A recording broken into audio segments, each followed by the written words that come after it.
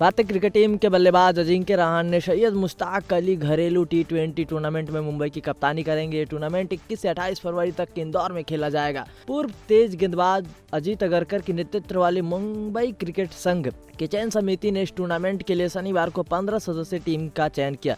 इस टीम में युवा सलामी बल्लेबाज पृथ्वी शॉ को शामिल किया गया है, जो ऑस्ट्रेलिया दौरे पर चोटिल होने की वजह से पहले ही बाहर हो गए थे। पृथ्वी शॉ के अलावा श्रेयस अय्यर, सिद्धेश लाड सूर्य कुमार यादव और अनुभवी विकेट कीपर आदित्य तारे को भी टीम में जगह मिली है।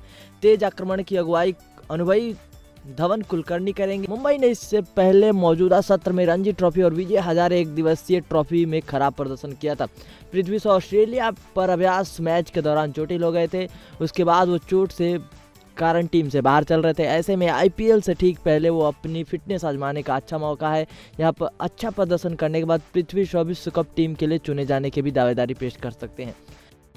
नेक्स्ट स्पोर्ट्स से लव कुमार की रिपोर्ट।